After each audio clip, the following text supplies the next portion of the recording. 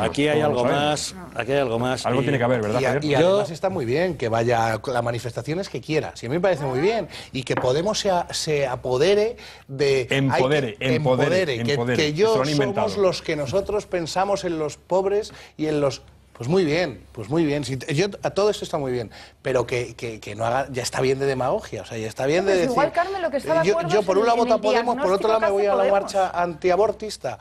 Pues mire usted, pues muy bien. Y yo, pues yo estoy en Caritas que llevan diciendo vamos a ayudar a los demás desde hace mucho antes que apareciera De Podemos. verdad, me estáis obligando, Yo, ¿eh? llevo- yo, yo sí Me- veo, veo cierto hilo de coherencia. Yo no veo incoherencia y, y lo explico rápidamente. Esta señora eh, este, quiere o, o es como un prototipo y un paradigma de estar a la última, de la moda, fashion victim. Tiene evidentemente ahora mismo, si hay algo de moda en el panorama político y algo de lo que se habla y algo que viste y que le da una repercusión, porque ella es una persona conocida, tiene un montón de seguidores en Twitter, pero ella con esto también es una caja de resonancia de yo soy colega de lo último de O sea, tal. volvemos a la Gauche Divine y esas enamoradas. ¿Sabéis lo que va a pasar al final? Que Carmen Lomana va a votar a Vox.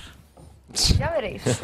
Hombre, yo creo que políticamente está bastante más Nah, cerca sí, de... de de- todos Si modos- tiene ese bis, y permíteme ya para, para terminar. veo- veo- ella en la Tiene comida. ese bis de Isadora Duncan de finales del 19 y tal, ¿no? Que es la... Veo que ante el error de vuestro análisis me estáis forzando. Yo no quería, por respeto máximo a nuestra audiencia, yo no me quería poner ni picantón ni escabroso, pero me habéis obligado a ya- recuperar sí, ya no la columna. infantil. No, ya, no- ya no es Ya horario infantil.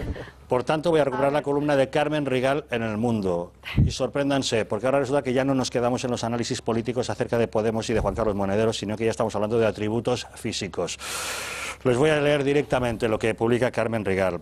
Monedero ha saltado a la palestra, lo que ha permitido a Erjón regresar al cómodo segundo plano. De Monedero se dicen muchas cosas, verdades y mentiras, pero hay de él un aspecto ignorado que si trascendiera podría convertirlo en un icono. Es una dimensión nueva del personaje. Algún amigo suyo suele hacer chanza recordando la presencia del hombre de Podemos en algunas playas nudistas. Monedero no se da pisto, pero cuentan que yendo con él puedes tender la toalla y tomar el sol a la sombra de su mástil. Así de claro. Dios santo. Yo, de verdad, eh, creo que ibais errados a la hora del análisis político. No tiene nada que ver con todo eso, por lo que estoy viendo. Me Franca, saca- me- sácame de No, no, me he perdido, o sea. Yo cuando- Tú- eres biólogo. Sí, por eso, por eso.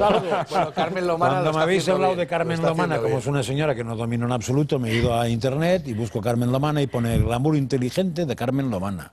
Entonces yo de glamour no entiendo y de inteligencia cada día menos, con lo cual no es mi personaje. O sea, no sé de qué va la fiesta. Ahora, si lo que se critica es la actitud de una señora que por conocer a, a un personaje bueno, a mí me parece que entraría dentro del ámbito que ya me muevo mejor, que es un tema político, es como criticar que Zapatero haya cenado con. Me parece una idiotez. O sea, yo creo que la política, si te permite conocer a uno, aunque esté enfrente tuyo, es fundamental hacerlo. Y el que no lo haga se mete es porque es un acomplejado que no se atreve Exacto. a decirlo, a hacerlo o a explicarlo.